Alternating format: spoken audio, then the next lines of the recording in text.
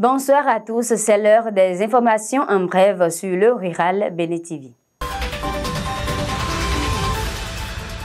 Nous démarrons dans nos universités où l'édition 2024 de la journée de l'étudiant agronome s'annonce à grands pas. Cet événement annuel représente une occasion pour rassembler les étudiants inscrits en sciences agronomiques autour d'activités à la fois saines et instructives. Pour cette année, des expositions de stands sont programmées au sein de l'Université nationale d'agriculture UNA.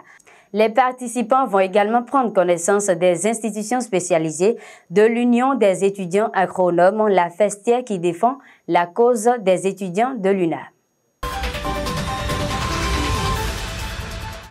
Le Bénin adopte le plan national d'investissement agricole et de sécurité alimentaire et nutritionnelle 2022-2025. C'est l'une des décisions issues du Conseil des ministres d'hier, mercredi 3 avril 2024. Ce programme prend en compte les acquis, les besoins auditionnels de financement à couvrir pour l'investissement et le fonctionnement du secteur agricole sur une période de 4 ans, soit de 2022 en 2025.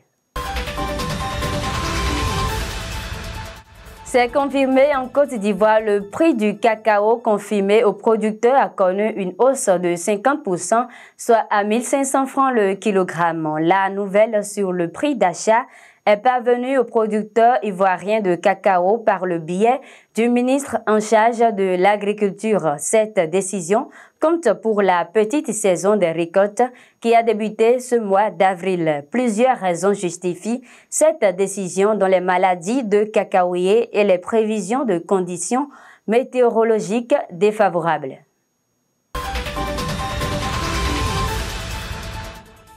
Et pour finir, l'Organisation des Nations Unies pour l'alimentation et l'agriculture FAO a rendu public son rapport interactif sur l'évolution des forêts au cours des 30 dernières années. Ils ont examiné la situation et les tendances de plus de 60 variables liées aux forêts dans 236 pays et territoires pour la période de 1990 à 2020. Les données sont recueillies en collaboration avec un réseau de correspondants nationaux de 191 pays. Pour rappel, l'évaluation des ressources forestières mondiales de la FAO fournit des informations essentielles pour comprendre l'importance des ressources forestières, leur état, leur gestion et leur utilisation. C'est la fin de ce Flash Info.